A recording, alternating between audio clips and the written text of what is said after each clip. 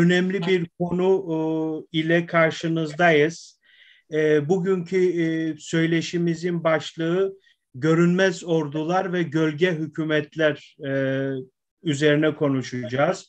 Konuğumuz bu alanda yıllarını vermiş, deneyimli e, istihbaratçı, istihbarat uzmanı Alp Tufan'la. Alp Tufan'ı e, hepiniz ilk programdan tanıyorsunuz. İlk programda e, çok uzun bir program yapamadığımız için ikinci e, bölümünü yapıyoruz. E, Alp Bey hoş geldiniz yayınımıza. Hoş bulduk Hasan Bey. Hepinize e, iyi akşamlar dilerim. İzleyici arkadaşlarımıza, dostlarımıza, ahbaplarımıza bizi takip eden herkese çok çok e, iyi bir yayın olması için inşallah iyi bilgiler verebilmek için uğraşırız. Hepsine iyi akşamlar diliyorum. İyi bir program olur inşallah. Eyvallah. Çok teşekkürler. Öncelikle şu şekilde başlamak istiyorum. Yani bugün e, son bir hafta içerisinde 28 Şubat'ın e, 28 Şubat'ta rol alan belli semboliz isimlerin ceza aldığı ve hatta e, rütbelerinin söküleceğine yönelik e, çeşitli e, değerlendirmeler yapıldı. Çetin Doğan e, tutuklandı. Diğer 14 general hakkında da e, tutuklama kararı alındı. Ben ilk önce 28 Şubat'tan başlamak istiyorum. 28 Şubat süreci hakkında neler söylersiniz? Yani 28 Şubat'ın iç ayağı olduğu gibi Amerika'da neokon çevrelerin Erbakan hükümetini devirmeye yönelik girişimleri olduğu da biliniyor. Çeşitli sembol isimlerin adı kamuoyunda çok sıkça e, dolaşıyor. Siz bu süreci yakından takip etmiş ve hatta içinde yaşamış biri olarak 28 Şubat'ın stratejik ve taktik arka planları hakkında neler söylersiniz? Şimdi ilk önce Çiller hükümetine bakmak lazım o dönemde. Süleyman Bey'den e, iktidarı devralan Sayın Çiller e, o dönemin e, SHP'siyle koalisyon yaptı. Ve bu Süleyman Demirel'in Cumhurbaşkanlığında e, o günün çok büyük sıkıntısı olan terör olayı, e, Güneydoğu'daki ve Doğu Anadolu'daki terör olayı üstüne Çiller hükümeti çok ağırlıkla gitti. Ve bunda da başarılı oldular. Yani ciddi anlamda terörün önüne geçtiler. O dönemdeki o meşhur çelik operasyonu, diğer e, bölgedeki çeşitli sınır ötesi operasyonlarla başarılı oldular. Ve bunun akabinde Çiller hükümeti e, Güneydoğu'da siyasi çözüme gidecekti. Yani bölgede bir barış istikrar olayını getirecekti ve bu bölgeye e, çok e, sosyal anlamda, ekonomik anlamda yaklaşım yapıp oradaki halkı e, bu terör konusundaki verilen e, yılların eziyetini e, yarayı kapatmaya çalışacaktı. O dönemde seçim oldu. Erbakan hükümetiyle kurdular bunu. E, Erbakan hükümetiyle kuruldu. E, güçlü bir sağ e, şey olacaktı. E, iktidar olacaktı ve bu konuların üstüne çok ciddi, ciddi gideceklerdi. Çünkü aynı zamanda Rusya'yla çok yoğun derecede bavul ticareti vardı. Türkiye'nin önünü çok açmıştı bavul ticareti. Çünkü Rusya bütün kapıları, Orta Asya bütün kapıları Türkiye Cumhuriyetleri açmıştı. Çok ciddi anlamda bir ticaret oluyordu. Evet. İşte o dış etken, o dediğimiz dış etken e, ordunun içinde bir cuntayla, belli bir yapıyla e, şeyi göstererek, e, irticayı göstererek e, çok ciddi anlamda o dönemin hükümetini müdahale ettiler. Eninde sonunda hükümeti e, aşağı indirdiler çeşitli e, sivil uzantılarla birlikte. Ve bu 28 Şubat'tan gelen hadise ondan sonra da e, topluma bazı toplumun bazı çevrelerinde baskıyla geldi. E, ve çok da ciddi baskılar yapıldı. Ama işte aslında tamamen hadise e, farklıydı. O baskılar e, o kesimin önünü açtı. Evet. Peki Alp Bey şunu sormak istiyorum. Bu Batı Çalışma Grubu o dönemde e, Emniyet İstihbarat Başkanlığı yapan, daire başkanlığı yapan Bülent Bey'in, Bülent Orakoğlu'nun ve Hanefi Bey'in bir çalışması var.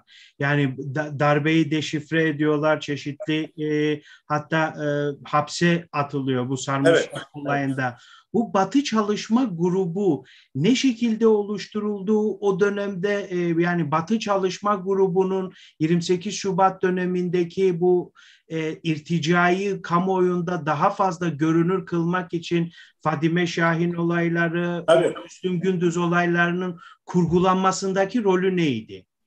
Yani şimdi bu tip operasyonları yapanlar junta, junta operasyonları sivildeki uzantılarıyla ondan sonra e, çeşitli e, provokatif faaliyetlere gidiyorlar. Bu provokatif faaliyetlerle de olayın ateşini arttırıyorlar. Ondan sonra konulara müdahil olmaları daha da kolaylaşıyor. Aslında bilinmeyen bir şeyler, bazı olaylar var. O dönemde ordunun içinde e, belli bir kitle de bunlara karşı.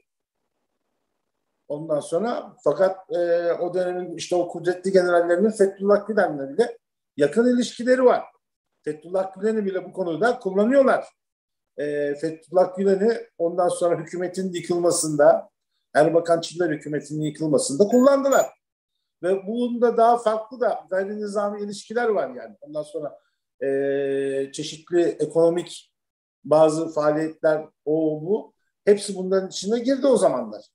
Peki Alp Bey burada bu hususu da sormak lazım. Bir meşhur bir Toros tatbikatı yapılıyor. Çevik bir dönemi, Çevik bir evet. ikinci başkan dönemin idi. Ve orada e, Toros tatbikatında Hüseyin Kıvrıkoğlu'nun önünde oturan Vural Albay şehit ediliyor ve bir yanlış evet Allah rahmet eylesin yanlış bir atış sonucunda Vural Albay şehit ediliyor ama kamuoyuna yansıyan bilgilere göre hedef Hüseyin Kıvrıkoğlu Paşa olduğu e, iddia ediliyor. Yani buradaki bu suikast girişimi ile bu 28 Şubat'ın kudretli ismi olan Çevik bir arasında bir bağ var mı? E, Bravo. Bravo. Güzel bir soru. Şimdi ben o dönemde e, Kutladalı e, orada bir suikaste uğradı. Arkasından hemen e, 3-4 ay gibi Susurluk hadisesi geldi 3 Kasım'da. Ben adada çok eskiden beri ondan sonra çocukluğumdan beri e, oranın yerel unsurlarıyla ilişkim olduğu için adaya gittim hemen. Ondan sonra adada kaldım. Bazı işte oradaki yerel unsurlarla ondan sonra görüştüm ve kendi işimden dolayı da devamlı şekilde Ondan sonra adada bulundum o dönemde 1998'in sonuna kadar. Gidip gelerek gidip gelerek İstanbul'da. E, Toros tatbikatından bir müddet evvel de oradaydım. Yani kısa bir zaman sonrasında da oradaydım. Ondan sonra e, Çevik Bir Paşa'yla 1997'sinin Nisan ayında zannediyorum pas, pasaport kayıtlarında çıkar. O İstanbul'dan Hava Kuvvetleri'nin bir launch e, uçağıyla gelmişti. Aynı anda ben de adaya inmiştim. O Salamis Bay Oteli'ne yerleşmişti. Ben orada başka bir yerde kalıyordum. Çevik bir Paşa'nın enteresan orada bazı temasları oldu. Ondan sonra adada. Ee, o dönemde de biliyorsunuz adaya S-300 füzeleri Güney Kıbrıs'a Rusya'dan getirilmek isteniyordu. Onun için de çok büyük bir faaliyet vardı adanın iki tarafında da. Ee, Çevikler'in oradaki faaliyetleri enteresandı. Görüşmeleri Kimlerle eğer çok gizli değilse yani kimlerle bir e, teması oldu yani bu e şimdi adada adada kimler hakimse onlarla teması vardı. Evet. Yani bugün Kıbrıs'ta ne oluyorsa nasıl bir hakimiyet varsa e, o gün onların temelleri atıldı. Susurluk falan da bunun çok ciddi anlamda e, devamında gelen hadiselerdir. Evet yani bayağı örtülü oldu. Yani kamuoyunun e, bugün şimdi adada adada çok duyuluyor. Kumarhaneler kuruldu. Evet. Kumarhaneler o zaman daha yeni intikal etti susurluk olayından sonra adaya. E, adadaki şu anda misyon zaten İngiliz misyonu çok kuvvetlidir.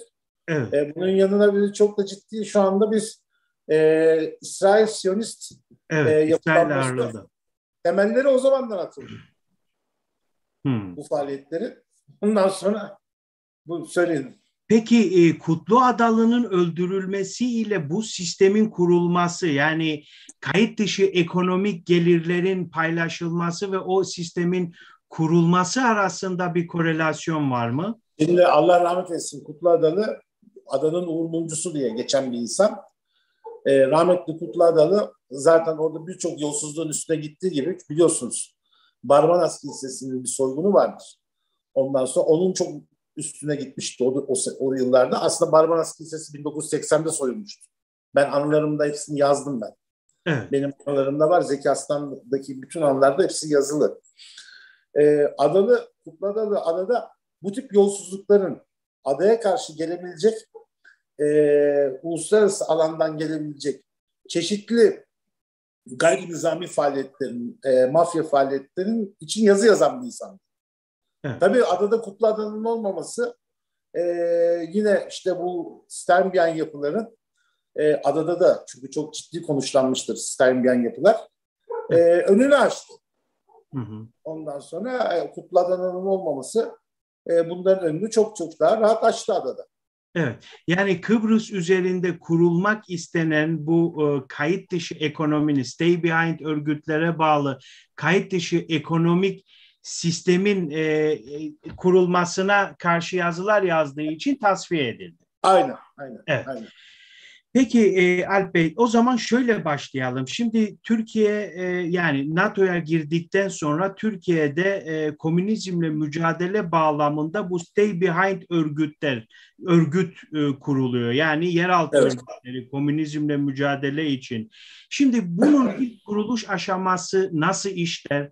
Bu Stay Behind örgütün içerisinde Seferberlik Tetkik Kurulu 90'lı yıllara kadar ki olan Seferberlik Tetkik Kurulu'nun e, askeri boyutu, sivil boyutu nasıl işledi, nasıl kuruldu, personel seçimi hangi ideolojik motiften insanlardan seçildi. Mesela şöyle bir algı var. Ecevit bu konuya çok değiniyor ve e, Ecevit'in bütün e, demeçlerinde e, milliyetçiler ile bu örgüt arasında yani Gladio arasında bir e, izdüşüm olduğundan bahsediyor. Yani Niye bunlar... CHP'liler yok mu?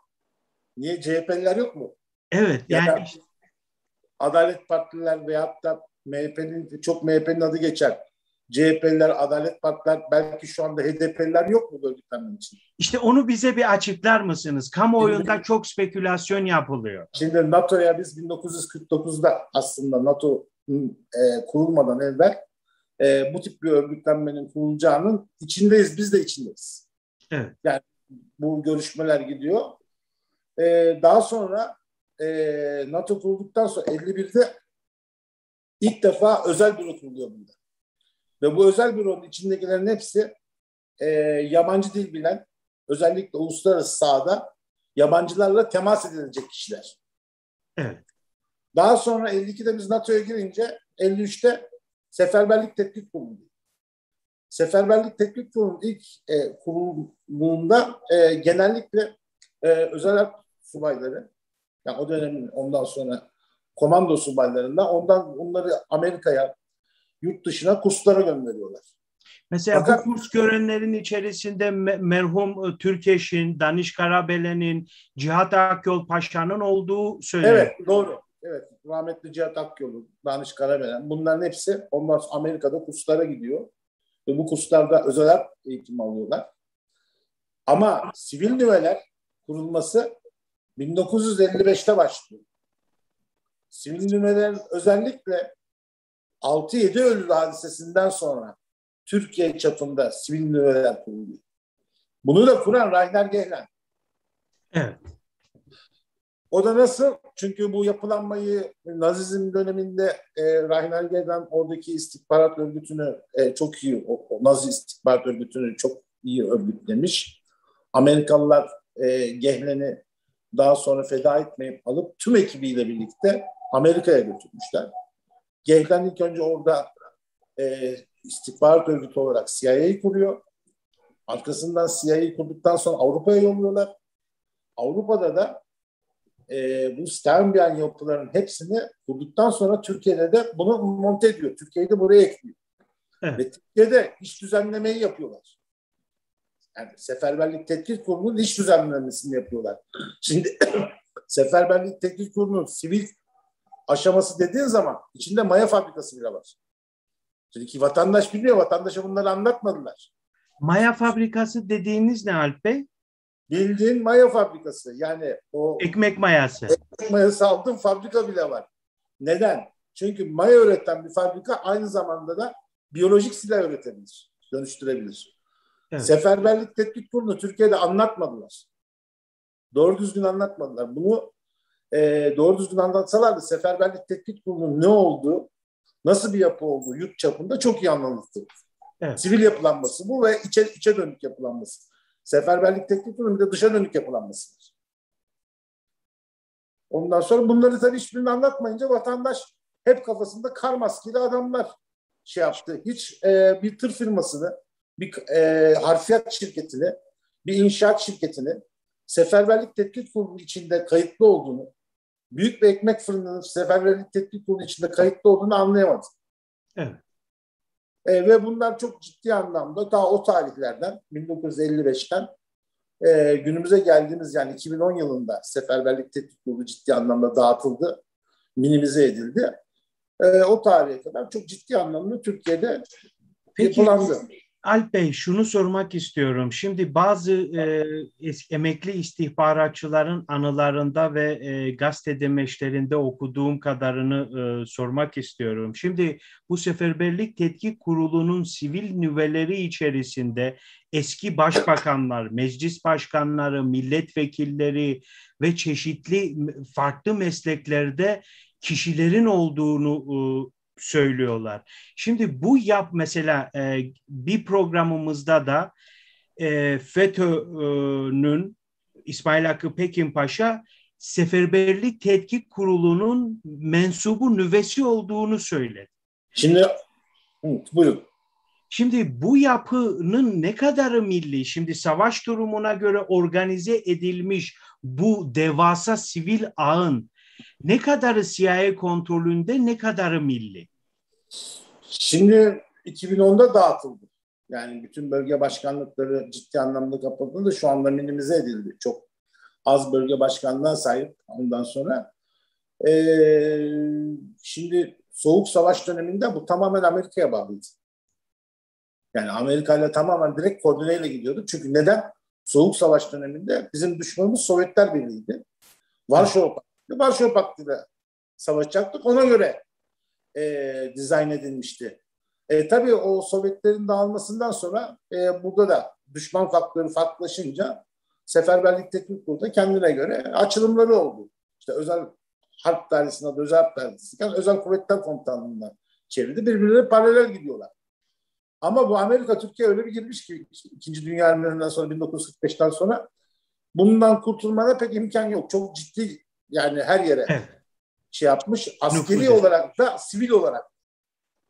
Yani mesela Kozmik Oda olayından sonra gelen ilk hadise nedir? Ee, Baykal'ın tasfiyesidir. Evet. Sayın Baykal'ın bir komplo, kaset komplosu tasfiyesidir. Evet. Bu konular çok ilgilidir bu birbirine bu konular.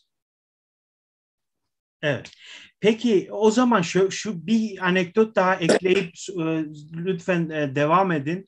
Ee, mesela Özal'a suikast düzenleyen 88 yılında Özal'a suikast düzenleyen Kartal Demirağ'ın Uğur, Tö, e, Uğur Tönük Uğur Tönük evet başsavcının yapmış olduğu tatkikatta e, özel harp elemanı olduğu ortaya çıktı. Daha sonra savcıya yönelik suikastler yapıldı. Ege bölgesinde bir eczacı başkanlığında örgütlenmiş özel harbin elemanı olduğu ortaya çıktı.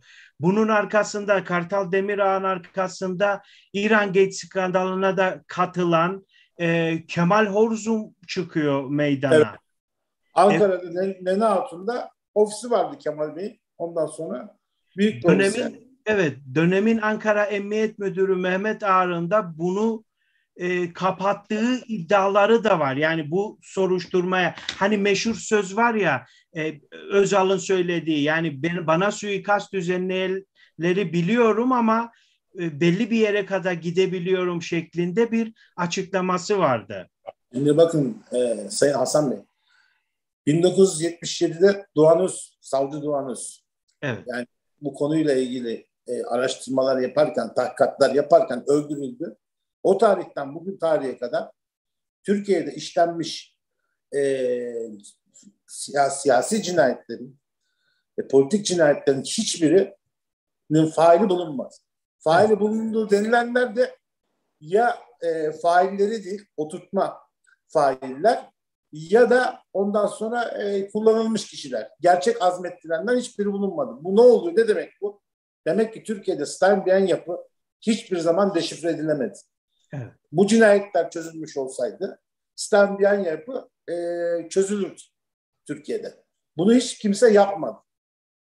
E, mesela Cem Ahmet Cemal adam göz göre göre öldürüldü. Evet. E, o onun çok suyun altındaki hadiseler falan bakıyorsun bir Kurtlar Vadisi Gladio diye bir film var. Yüzde seksene yüzde yetmiş beşe yakın film doğruyu anlatıyor. Evet. Yani milleti oradan seyrettiler. Niye onu seyrettiriyor millet oradan? Onun reklamını yapıyor işte. Kendi evet. reklamını yapıyor. Yani bizim gücümüz, kudretimiz bu. Biz bunu da yaparız. Kimse bizi elleyemez. Bunu da filmde gösteririz biz. Peki Alp Bey bu Stay Behind yapının e, Türkiye'deki karar alma merciği neresi? Tamam NATO'nun e, bir e, karargahın tarafından yönetiliyor. İçerisinde e, sivil kanadı tarafından yönetiliyor. E, bunun Türkiye'deki karar merciği neresidir? Yani biz Türkiye'de bir karar merciği yok bunun. Bunun karar merciği Amerika'da, İngiltere'de. Burada Türkiye, sadece oranın söylediği, oranın verdiği emirleri uygulayanlar var. Evet, o küresel güçlerin Türkiye'deki gölge hükümeti yani başlığı da o şekilde attık. Gölge hükümet olarak hareket eden siyasa, siyaset kurumunu ve orduyu ve bürokrasiyi yönlendiren o Türkiye içerisindeki o gölge hükümetin adı nedir? Nasıl yapılanır? Mesela çok ilginç e, yani veriler de var kamuoyunda. Mesela kod adı Atam Dede olan bir e, şahıstan bahsedilir. Yani bu şahsın... Yani aslında Starbier'in 83'ten sonraki bir numaranın ismi. Kod evet. adı. Kod adı. Önemli bir isim. Bir tarafında baktığın zaman Londra. Bir tarafında baktığın zaman İtalya. Bir tarafında baktığın zaman direkt kendisinin, şahsının ve ailesinin Amerika Birleşik Devletleri. İçeride de baktığın zaman e, farklı bir kimlikle karşına çıkıyor. Yani o yabancı bir kimlikle yani aslında e, şöyle söyleyeyim daha açık söyleyeyim e, gayrimüslim bir kimlikle karşına çıkıyor. Fakat bu gayrimüslim kimliği Müslüman kimliğiyle de karşına çıkıp bulabiliyorsun. Şahsen şu anda artık e, onun zamanı dönemi bitti. O geçmişte kaldı. Ama çok ciddi anlamda e, bu konu üstünde Türkiye'de söz sahibiydi. Evet. Yani zaten devri geçtiği için konuşabiliyoruz. Yoksa bu kadar hakim olduğu bir dönemde bu programı yapsak elbette biz de hedef oluruz gibi e, yani hedef olabilme ihtimalimiz olabilir. Muhtemelen. Şimdi bu Atam Dede'nin e, Perinçek grubuyla e, ilişkisi ne? Atam Dede'nin Demirel'le veya başka siyasilerle yani neler yapmıştır Türkiye'ye yönelik e, şeylerinde? Yani, yani bilir, neler Osmanlı'dan yapmış? gelen çok yüksek seviyeli eğitim almış. Kökleri de çok yüksek seviyede. E, hem Türkiye'nin kuruluş tarihinde hem Osmanlı'nın önemli tarihinde e, yeri olan insanlar. E, tabii ki bunlar siyasete de çok ciddi anlamda nüfuz etmişler, dostluklar kurmuşlar. Özellikle bazı mahfiller içinde oldukları için bu mahfiller içinde e, insan yetiştirmişler. Çok ciddi anlamda insan yetiştirmişler ve bu insanları zaman içinde stratejik noktalara getirmişler. Ve bunu da çok ciddi planlı ve periyodik olarak yapmışlar. E şimdi e, zamanında büyüttükleri bir insanı e, İngiltere'de, Amerika'da okutmuşlar, etmişler. Yavaş yavaş siyasetin içine sokmuşlar. Bürokrasinin içine sokmuşlar. Yavaş yavaş yürütmüşler. Ondan sonra e, ondan sonra da bunun ondan sonra yararını kendilerine göre politikalarını, stratejilerini görüyorlar. Belki de e, o işte 28 Şubat döneminde Demirel, Sayın Demirel Allah rahmet etsin, mekan cennet olsun. Cumhurbaşkanı iken haftada bir iki gün Ondan sonra Sayın Cumhurbaşkanı da görüşüyordu. Tam dede özellikle, görüşüyordu. Tabii özellikle dış politika üstünde e, görüşüyorlardı. Hatta işte bir dönemde e, Sayın Demirel Sönmez Bey'e haber yollatıyor. E, bir İngiliz gen, generaller var. Emeklilik ekip halinde gelen. Onu aslında o Sayın Demirel'e sunan Atam dedeydi. Evet. O dönemde Sönmez Bey de Sayın Yavuz Atacı görevlendirmiş. Git bu Öcalan'a suikast için gelen özel harpçı Yok yok. O dönemde özel e, bu Çeçen Savaşı'nda, birinci Çeçen Savaşı'nda buraya İngiliz ondan sonra özel harp ekibi gelmişti. Burada bu Atam Dede ile görüşmüşlerdi. Onlarla uzun muzakereler yapmışlardı. Özellikle Kıbrıs üstünde ve Abdullah Öcalan üstünde. Ee, ta- tavsiye etmiş Demirel'e böyle böyle ondan sonra Milli İstihbarat Teşkilatı ile görüştürün diye. Demirel de Sönmez Bey aramış. Sönmez Bey Sayın Yavuz Ataç'a görev vermiş. Yavuz Ataç da görüşünce İngiliz yetkililerle olumsuz rapor vermiş. Yani çok doğru çünkü olumsuz raporda vermesi.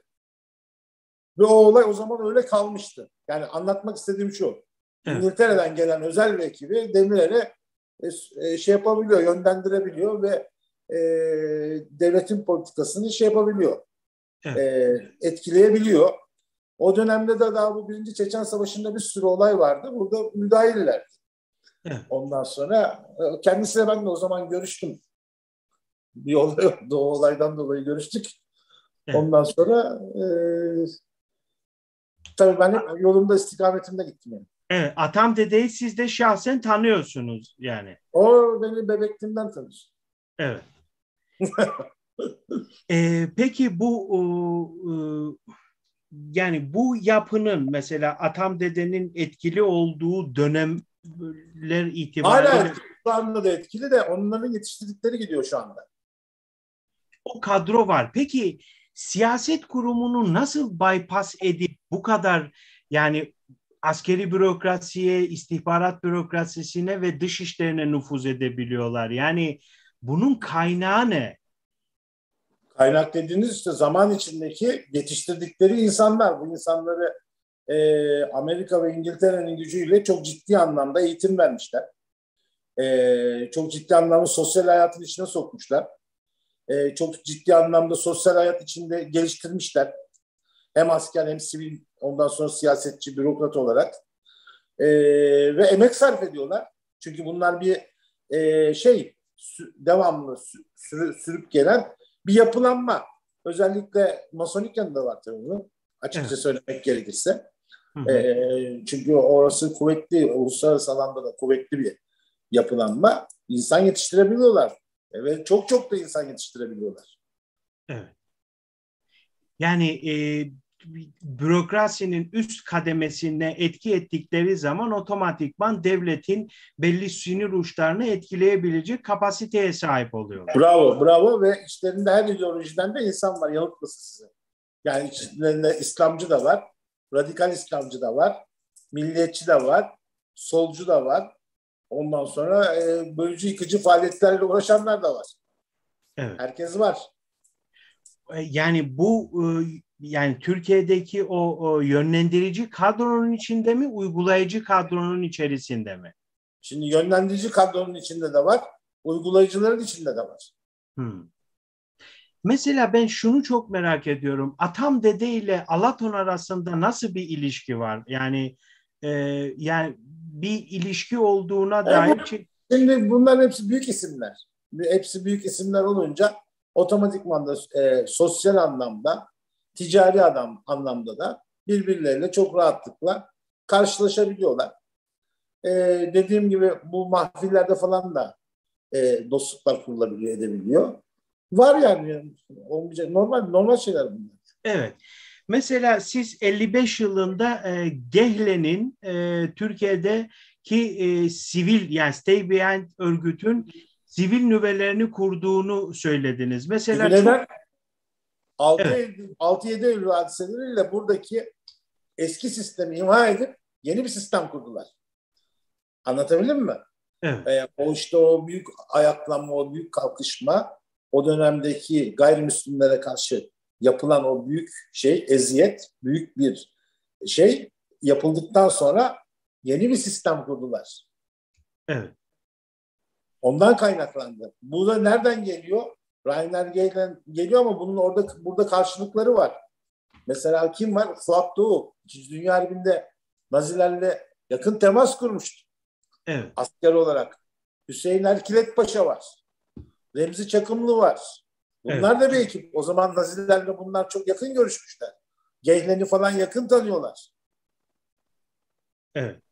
Yani Fuat Doğu Paşa'yı tanımayanlar için açıklayalım. Fuat Doğu Paşa MİT müsteşarlığı yapmış. Ve, evet, MİT müsteşarlığı yapmış ve MİT'in efsanevi isimlerini özellikle kamuoyunda çok bilinen isimleri 33 33 kişilik kadroları e, MİT'e kazandıran isim.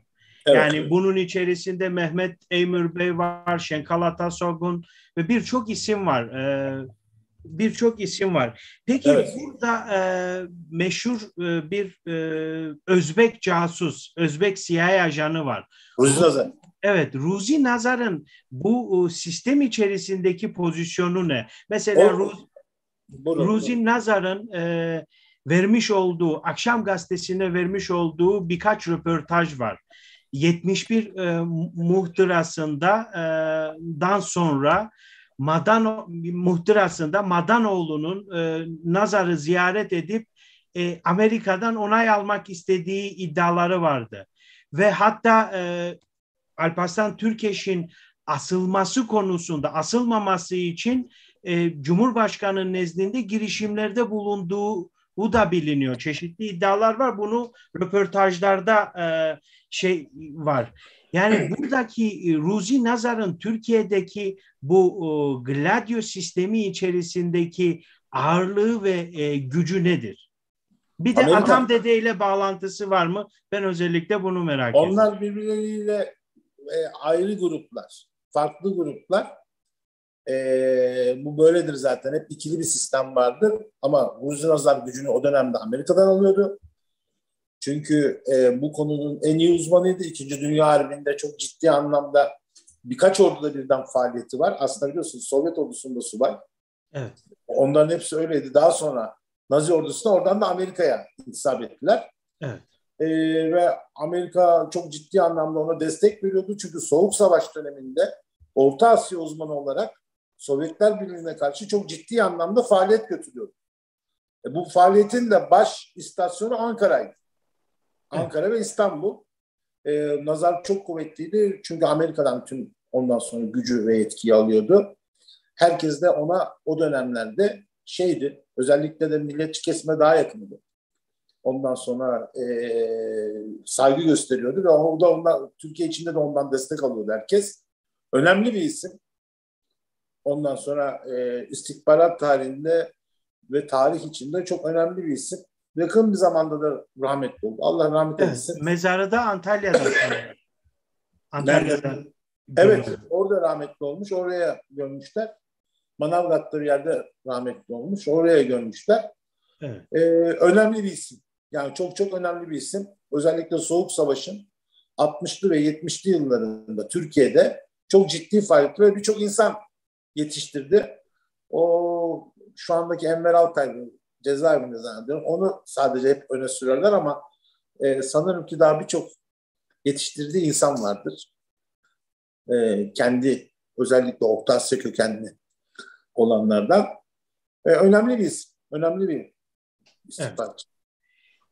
Peki Türkiye'de e, e, yani bu Gladio sistemi içerisinde e, masonik güçlerin, e, İngiliz me, menşeli veya başka menşeli masonik güçlerin e, etkili olduğunu söylediniz. Bir de Türkiye'de e, şu tartışmalar da yapılıyor. Yani tapınak şövalyelerinin ve hanedan ailelerin e, Avrupa'da ve Türkiye'de özellikle ülke siyasetinde belirleyici olduğuna yönelik çeşitli değerlendirmeler var. Bu tapınakçılık nedir? Ve bu e, masonik güçlerle rekabeti var mıdır? İlişkileri nasıldır? Bunu biraz anlatabilir misiniz? Şimdi şöyle söyleyeyim size. Ben baştan başlayayım ve Türkiye için söyleyeyim. Çünkü evet. tapınak olayını, tapınak şövalyeleri olayını Türkiye'de televizyonlarda izliyorum devamlı arkadaşlar var. Çıkıyor. Tapınak şövalyelerinin tarihini anlatıyor. Geçmiş dönemleri falan ama Türkiye'deki konuşulan konuyu herkes es geçiyor. Evet. Şimdi Türkiye'de tapınak şövalyelerinden ilk kim bahsetti? Sayın Saadettin Tantan o zamanlar e, emniyet müdürüydü daha. Evet. Tapınak şövalyelerinden bahsetti ve bunu durduk yere yaptı. Yani o zaman kimse ne dediğini anlamadı, niye söylediğini de anlayamadı. 90'lı yılların başıydı. Arkasından yine bunu defaatle arada bir tapınak şövalyeleri var mı diye var diye söyledi. Fakat hiç açıklama yapamadı. O işte bir hata. Eğer evet. ki bir şey konuşup da açıklama yapamıyorsa bu konu neden gerektiğini İzleyicilerimizin e, anlaması açısından Saadettin Tantan'ı bu tapınakçı vurgusunu ne bağlamda söylediğini de açıklayalım da yani bir enerji opera beyaz enerji operasyonu ve yolsuzluk operasyonu. Yok ondan evvelde 91 evet. yılında da emniyet müdürüyken durduk yere tapınak şövalyeleri var diye Türkiye'de bir açıklama yaptı ve çok dikkat çekti. Evet. O beyaz enerji dediği zaman da tapınak şövalyelerinden bahsetti bir de nüfus casuslarından bahsetti. Evet, evet. Ama bunları hiçbir zaman için açamadı. Şimdi o da normallik. Açamayacağım bir şeyi o zaman niye anlatıyorsun? O zaman farklı düşünün insanlar. Tabii. Farklı ak gerçek düşünen insanlar farklı düşünür. Evet. Şöyle anlatayım ben size. Türkiye'de tapınak şövalyesi yok. Neden yok? Tapınak şövalyesi olabilmen için Avrupalı ırklardan gelmen lazım. Ve bunun belli bir periyodu var. Yani belli bir tarihsel, çok ciddi anlamda tarihsel bir özelliği var. var. Ama burada bazı kimseler tapınak şövalyesi diye adlandırılıyor ve bazı amblemlerle falan e, gösteriliyor. Bunlar sadece üst seviyedeki masonik yapıların bazı tapınak e, servetlerinden yararlanmasından kaynaklanıyor uluslararası alanda. Aslında bunlar tapınakçı değil. Bunlar sadece mason.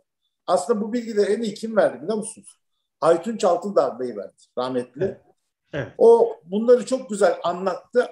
Fakat o da bir noktaya geldiğinde e, zannederim ki kendini ilgilendiren bazı konulardan dolayı tam açıklama yapmadı. Ama asıl bu konuyu tapınak şövalyelerini anlatan e, Sayın Ay, Aytunç Altındağ'dır.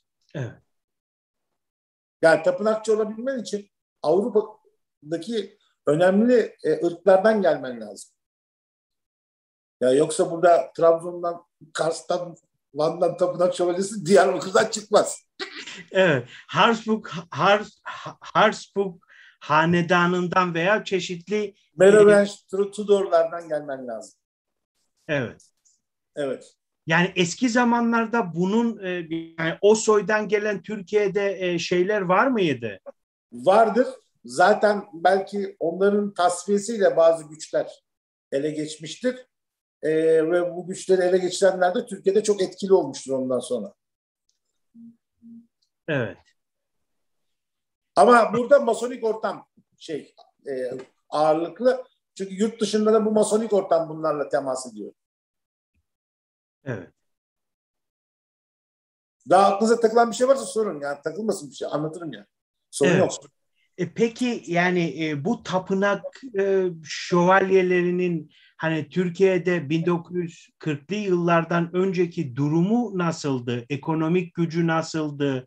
Yani e, bu bütün ülkede etkili miydi? Nasıl tasfiye edildiler? Ya bunlarla ilgili neler söylersiniz?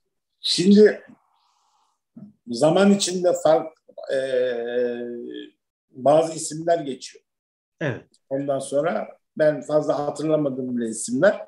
Bunların kaybolması var. Ortada e, olmaması var. Bir anda kaybolmaları var. Bazılarının da e, işte zehirlenerek falan ölümü var. Evet. Ondan sonra işte özellikle bunların o kaybolmasıyla ortadan yok olmasıyla bu masonik ortam, Türkiye'deki masonik ortam bazı şeyleri ele geçirmiş. Evet. Ve yurt dışındaki yaptıkları koordinasyonla da bu gücü kullanarak e, Türkiye'de çok ciddi anlamda siyasette, politikada ve ekonomide e, ciddi şeyler yapmışlar. E, evet. Operasyonlar yapmışlar. Onlar bugüne kadar da gelmiş. Ama Türkiye'de tapınakçı yok. Evet. Yani tapınak e, soydan gelir. Yani soydan Avrupa menşeli soydan tabii, gelir diyorsun. Tabii. Ve tapınak Siyon tarikatını ondan sonra koruyan bir güçtür. Evet. Aynı zamanda da vazifesi Siyon tarikatını korumaktır. Evet.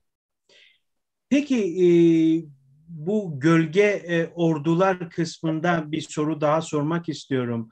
Bu Stay Behind örgütün e, finans kaynakları nelerdir? Yani bu sistemin dönmesi için neler yaparlar? Yani parayı nereden kazanırlar? Şimdi birincisi devlet ihaleleri çok önemlidir. Bütün devlet ihalelerinde varlardır. Müteahhitlik hadiselerinde çok ciddi ondan sonra e, güce sahiplerdir. Evet. E, özellikle tıbbi e, hastaneler, tıbbi cihaz satışı ilaç şirketleri, moda dünyası çok ciddi anlamda bu sistem örgütlerin gelir kaynaklarıdır. Özellikle yurt dışındaki büyük şirketler, o şirketlerin Türkiye'de verdiği distribütörlükler, e, satış noktaları e, çok ciddi anlamda bu örgütlenmenin gelir kaynaklarıdır. Evet. Peki e, bir de MIT'in e, efsanevi ismi, MIT Müsteşar Yardımcısı Hiram Abbas'ın öldürül Allah rahmet eylesin. Yani öldürülmesi meselesini sormak istiyorum. Hiram Abbas e, yani Asala Lübnan'da Asala'ya karşı çok ciddi operasyonlar yaparak örgütün beyin takımının dağılmasını sağladı. Daha sonra Özal'la çok yakın çalıştı. Özal'a yönelik e, e, Özal'la çok yakın işbirliği, çalışma, e, mesai arkadaşlığı var ve ölmeden önce MİT müsteşarlığı için Hiram Abbas'ın düşünüldüğü e, iddiaları var. Hiram Abbas'ı kim neden öldürmüş olabilir? Şimdi rahmetli Hiram Abbas e, 87 senesinde birinci MİT raporundan sonra 88'de biliyorsun başında emekliliklerini istediler. Evet. Bir teşkilattan e, Korkut Yarbay'la e, Mehmet Emin'le hep beraber ayrıldılar. Evet. İran Bey durmaz yerinde. Ondan sonra yeniden bütün siyasi faaliyetlerini götürüyordu. Ee, Ankara'da çeşitli kulis çalışmaları yapıyordu. Ee, siyaset içinden bazı insanlarla görüşüyordu. Aynı zamanda da PKK örgütüne karşı, çünkü PKK'nın derin yapılanmasının ne olduğunu çok iyi bilen bir insandı İlhan Bey. Ee, bunun içinde bir yapılanma hazırlıyordu. Özellikle e, Güneydoğulu ve Doğu Anadolu ondan sonra e, önemli gücü olan ailelerle bu ailelerden çeşitli önemli önde gelen isimlerle görüşmeler yapıyordu. Yani emekli olduğu halde durmamıştı, devam ediyordu ve bunun da bir ekonomik e, yapısını sağlamak için e, bazı e, ekonomik noktalarla da görüşüyordu. Evet. Daha sonra bunların hepsini hazırladıktan sonra e, MİT müsteşarlığına getirilmek için rahmetli Özal'la da çok yakın ilişkilerini götürüyordu. Ve zaten de olacaktı, müsteşar da olacaktı. İşte uluslararası alanda e, Özal'a suikastı kimler yapmışsa ondan sonra da e, rahmetli Hiram Bey'i şehit ettiler. Ondan sonra e, ve o çok önemli bir değeri kaybetti. Evet. E, Habertürk programında Mehmet Emür Bey ile Doğu e, Perinçek arasında bir e, tartışma geçmişti. Yani Emür, e, Sayın Emür, e, Hiram Bey'i siz öldürttünüz şeklinde bir ifadesi vardı. Yani Sabahattin Savaşman'a operasyon yapıldıktan sonra 14 tane MİT görevlisinin fotoğrafı, ev adresleri yayınlanıyor. Yani burada Doğu Perinçek grubunun veya İşçi Partisi her neyse buradaki e, rolü e, ne? Yani Hiram Bey'in öldürülmesinde. Şimdi bu Ergenekon davasında biliyorsunuz Sayın Perinçek tutukluydu o dönemde. Ergenekon davasına e, katılıyordu ve bu şeyde savunmalarını yaparken bir gün Şenkal Bey'in e, şey yapılmasını istedi. Tanık olarak mahkemeye çağrılmasını istedi. Fakat dönemin başbakanı Sayın Tayyip Erdoğan buna izin vermedi. Ve e, Şenkal Bey mahkemeye katılamadı. Perinçek ile Şenkal Bey arasındaki e, o görüşme yani o mahkeme esnasında konuşmalar belki bazı şeyleri açardı. Ondan sonra onu onlara bırakmak lazım. Aralarındaki e, ne teması var? Demek ki onu çağırdığına göre Sayın Perinçek Şenkal Gasugun'u mahkemeye tanık olarak istediğini beyan ettiğine göre aralarında bir ilişki var. Evet. Evet. Peki e, rahmetli Hiram Abbas Bey'in Nuri Gündeş'le çekişmesi olduğu da biliniyor. Yani evet. e, yani Şenkal Atasagun'un da e, Nuri Bey'in ekibinden olduğu iddiaları da var. Yani bu kadro çatışması mı yoksa e, yani makam mevki çatışması mı veya Yok, makam mevki, ne makam mevki çalışması ne kadro çatışması bu e, ideolojik çatışma. Yani e, düşünce çatışması diyelim bunu. Evet. Yani ideolojik düşünce çatışması diyelim. Yani konulara farklı bakma çatışması. Evet. Yani bir, bir taraf daha milli bakıyor, bir taraf daha batılı bakıyor. Onu söyleyeyim, bu kadar açık söyleyeyim yani. Evet. evet. Anladın mı? Yani İran Bey konuya milli olarak bakarken bir taraf konuya batılı bakıyor. Zaten olaylar da onu gösteriyor yani. O günden bugüne 30 sene geçti. 30, 31 sene geçti. Olaylar gösteriyor kendini. Evet yani Hiram Bey'in özellikle 90 80'li yıllarda yazmış olduğu analizler bugünün Türkiye'sini e, şey yapıyor, özetliyor. Hatta e, bir raporunda bir e, raporunda MIT'in operasyonel kapasitesinin geliştirilmesi gerektiğinden bahsediyor ve şu an Milli İstihbarat Teşkilatı yurt dışında FETÖ terör örgütüne, PKK hedeflerine yönelik aktif operasyonlar yapılıyor. Zaten Korkut Bey ile Yavuz Bey'i getiren İran Bey'dir. Milli İstihbarat Teşkilatı'na getiren özellikle özel harpçilerle İran Bey çok yakın sık görüşürdü eskiden beri. Bu operasyonel faaliyetlerden dolayı ilk defa teşkilata özel harpçileri İran Bey getirmiştir. Evet. Orhan Çoban başkanlığında bir ekiple geliyorlar. O sonra, o evet. sonra Emir zaman, Sayın Mehmet Emir zaman. Evet. İlk getiren 1985'ten sonra getiren Hiram Bey'dir. Korkut Bey'le e, Yavuz Bey getiren. Anladım. Evet, e, şimdi biraz da Türkiye'deki suikastler kısmına gelmek istiyorum. E, e, Türkiye'de gazeteciler öldürülüyor ve en çok merak edilen e, suikastlerden bir tanesi Uğur Mumcu suikasti. Evet. E, bu suikaste ilgili çeşitli spekülasyonlar yapılıyor. İşte e, dinci bir örgütün yaptığı iddiaları da var. Ama çeşitli versiyonları, hikayenin çeşitli versiyonları da e, var. Uğur Mumcu kim ve neden öldürüldü? Kim tarafından ve neden öldürüldü? Şimdi çok kısa, Uğur Mumcu çok değerli bir gazeteci. Olaya çok kısa bir tarafından bakmak lazım, delilli bakmak lazım. Uğur Bey'in son bir TRT1'de yaptığı açık oturuma katıldı. Orada bir PKK konusunda Güneydoğu sorun e, Güneydoğu konusu sorun, e, sorunu konusunda bir açık oturum yapıldı orada. Uğur Bey orada çok sıkılarak programın bitmesine yakın bir şey söyledi. Dedi ki siz ne konuşuyorsunuz ya CIA, MIA ne diyorsunuz siz dedi. CIA falan hikaye dedi. Siz Aramco petrol şirketinin kasal, kozmik kasalarındaki Orta Doğu bilgili, Orta Doğu planlarını bilseniz ondan sonra çok olursunuz dedi. PKK da CIA'nin hepsi boş çıkar dedi. Ben onu dinlediğim anda eyvah dedim.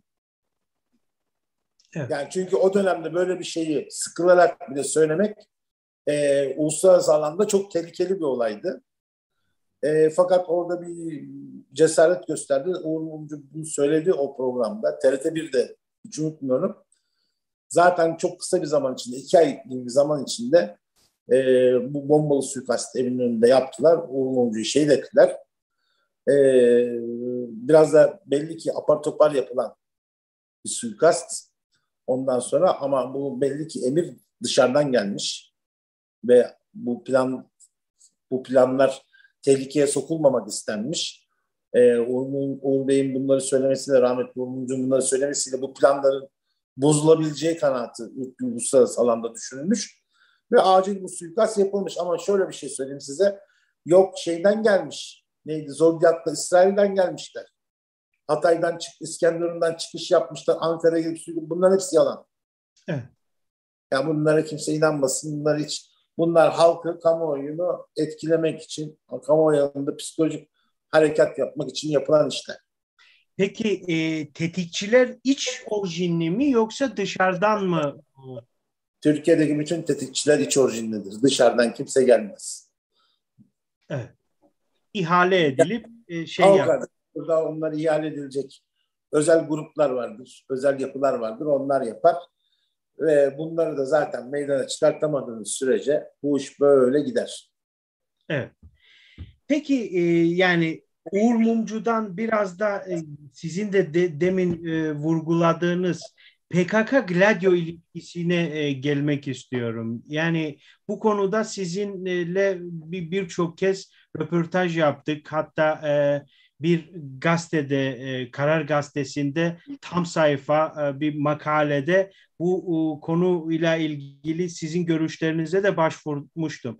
Şimdi Öcalan'ın e, Gladio ilişkisi veya PKK'nın bir proje terör örgütü olduğuna yönelik çeşitli iddialar var. Bunlar hakkında neler söylersiniz? Şimdi APO'cular, ilk kuruluş aşaması PKK değil, APO'cular. Evet. Ve ondan sonra e, belli bir kadroları var. Bu kadrolar e, şu anda çok yaşlandı. Bir kısmı da öldü kaldı. E, ben size çok enteresan bir olay anlatayım. Apo'nun ilk afişlemeyi nerede yaptığını biliyor musunuz? Yok. 1977 yılında Apo'nun ilk af- afişleme yaptığı yer zannediyorum ki 1977'nin Ekim-Kasım ayıydı. İstanbul Bakırköy ilçesi Yeşilyurt Yeşilköy mahallesinde. Ve evet. çok enteresan bir afişlemeydi. Bu afişleme şablon afiş, afişlemesiydi. Yani kağıtta değil, o dönemde duvara baskı yöntemiyle ve üstünde APO yazıyordu. Evet. Şimdi mantıken Güneydoğu'da, Doğu Anadolu'da faaliyet gösterecek bir e, şey e, örgütün Bakırköy'de e, işi var. Bakırköy'de Yeşil Yeşilköy'de de işi var. Evet. İşte e, biz o zamandan ondan sonra ben çocuktum, gençtim. Onlar genç dedim, çocuktum.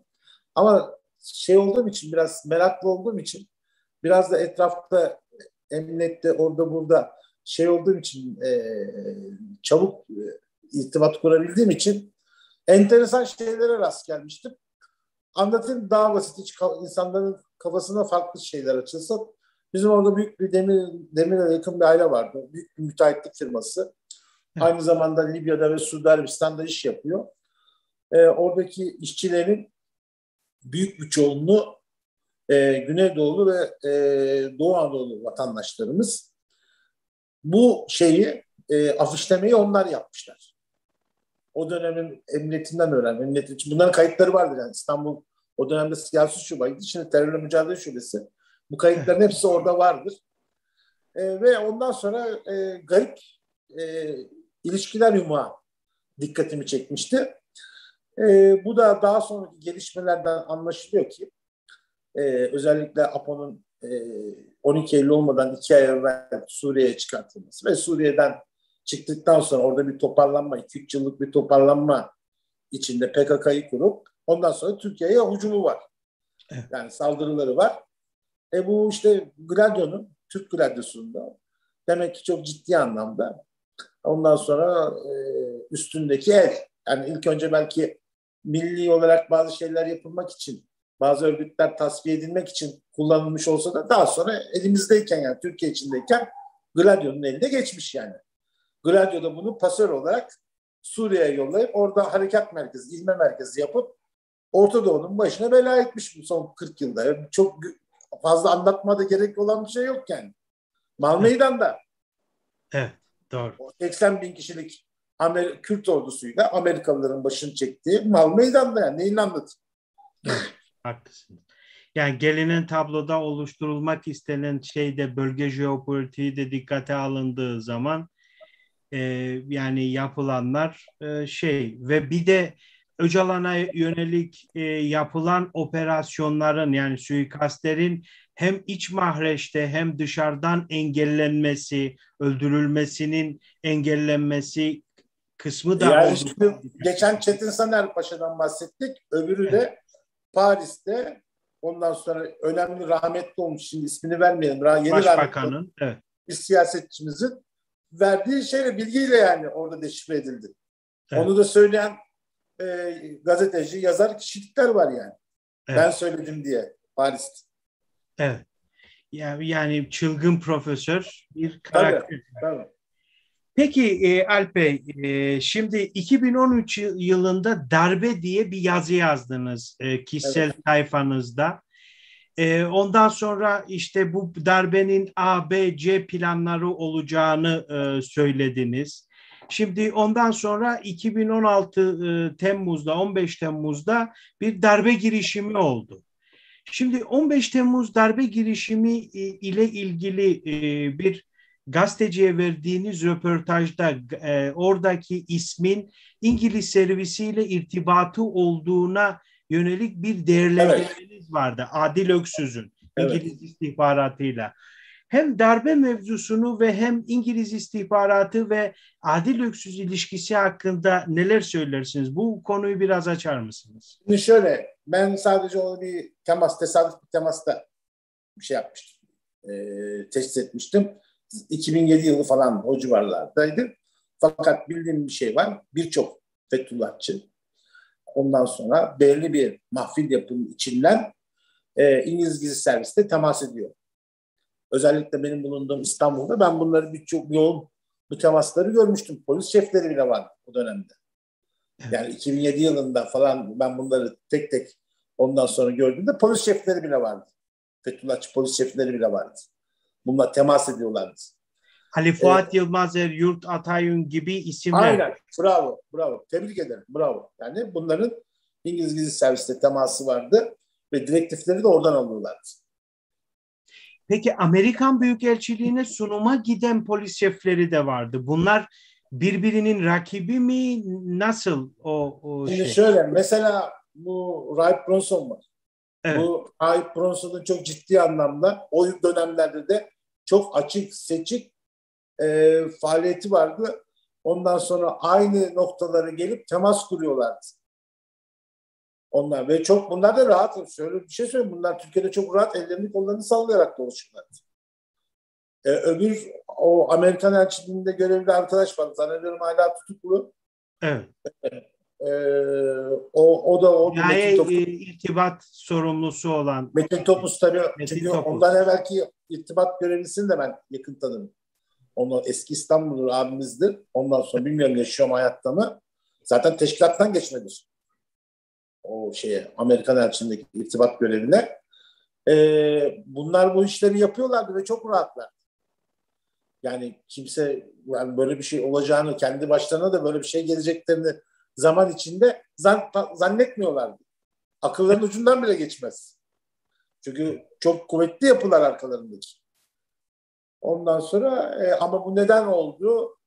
E, Gülen cemaatiyle buradaki belli bir yapı çarpışınca 2013 senesinde anladım ki bunlar darbeye kalkışacaklar.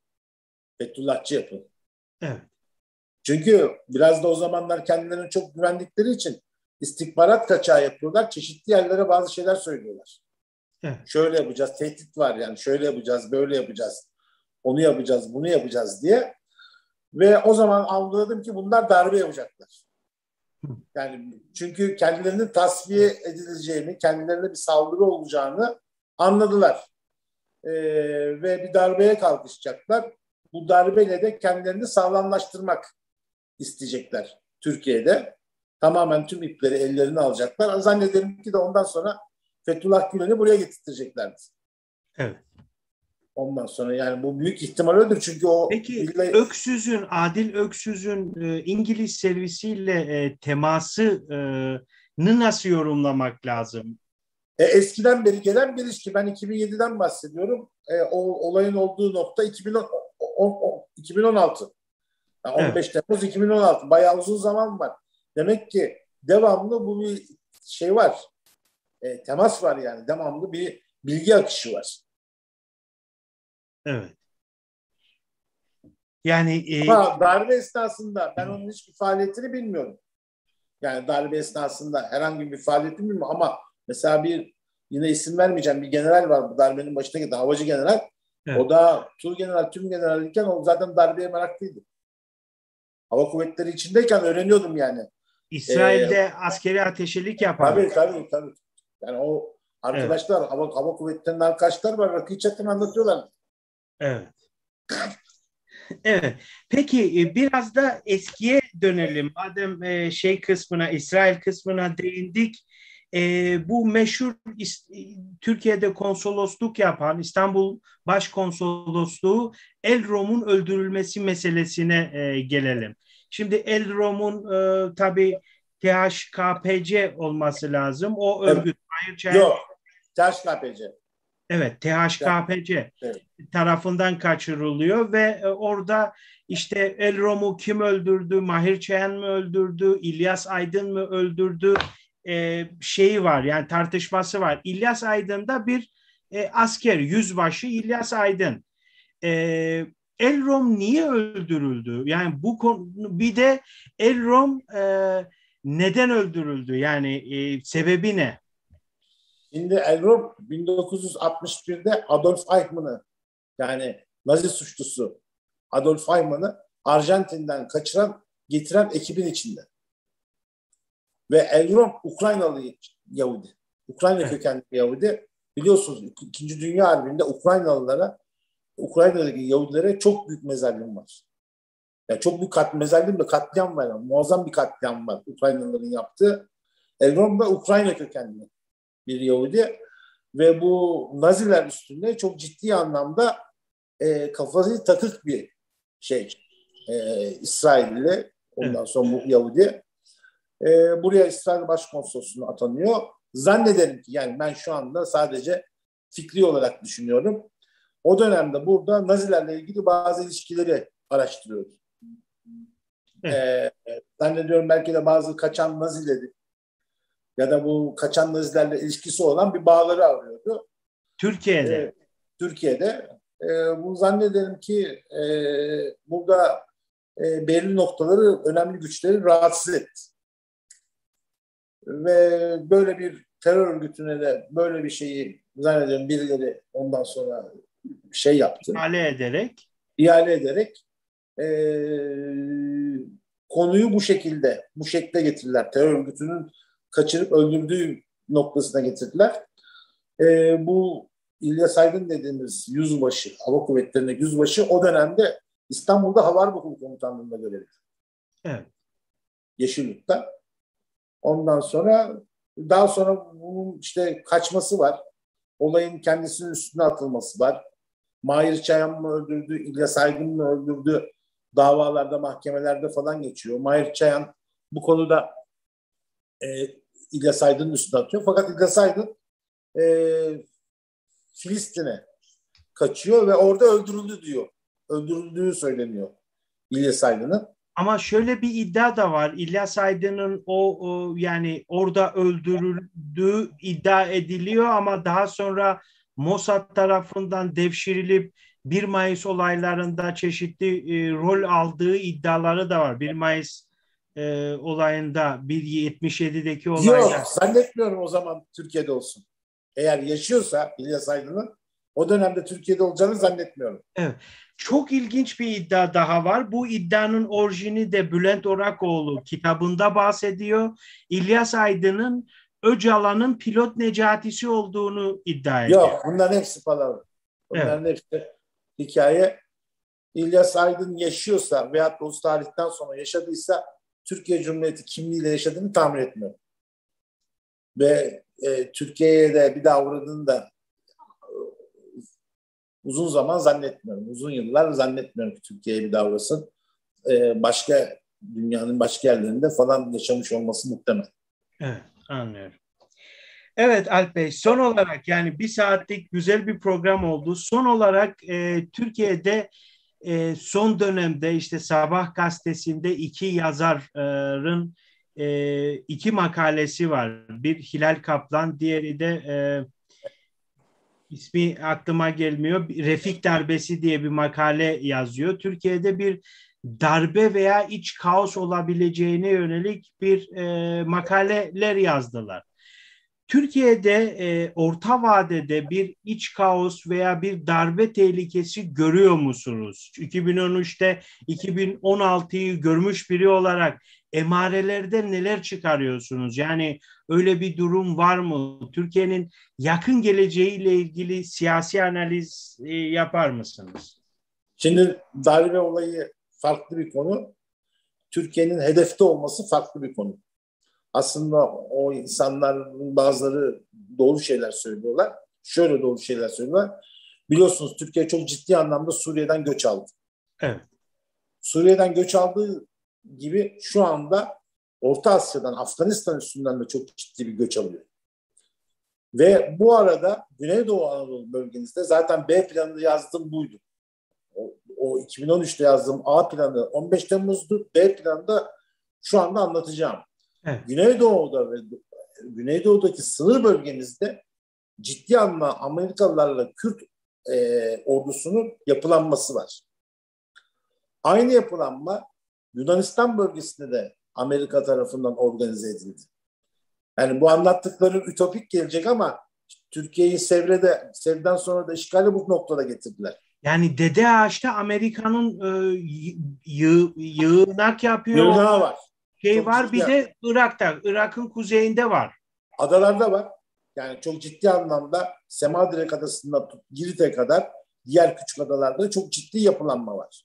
Peki Amerikalılar Türkiye'de iç savaş çıkarıp Türkiye'yi işgal mi edecekler? Böyle bir Aynen böyle. Aynen böyle ve o işte o işgalde e, kimse aklına getirmiyor. Yani olmaz böyle bir şey diyor. Ondan sonra ama o zor bir durumda içeriden bir karışıklıktan bu kadar aldığımız e, yabancı nüfusta çünkü Irak'ta Suriye'de savaşı böyle çıkarttılar. Evet. E, yabancıyı getirerek Irak'ta ve Suriye'de iç savaş çıkarttılar. Şu anda aynı şeyi de bize uyguluyorlar. Çok ciddi anlamda mülteci girdi Türkiye'ye. Evet. E, bunların e, bir de iç dinamikleri var. Türkiye'deki iç kamplaşmalar var. Mezhep kamplaşmaları var. ideolojik kamplaşmalar var. Ondan sonra bir de bunları ek bunların içeride yapabilecekleri çok ciddi bir e, çatışma ortamı Türkiye'yi muazzam derecede zor bir duruma sokar. Evet. Yani Biden yani, yönetimi Erdoğan'ı devirmek için kararlı olduğunu zaten yüksek bu Sayın Cumhurbaşkanı'nın devirme olayı değil bu. Bu evet. Türkiye'yi devirme olayı. Herkes orada yanılıyor.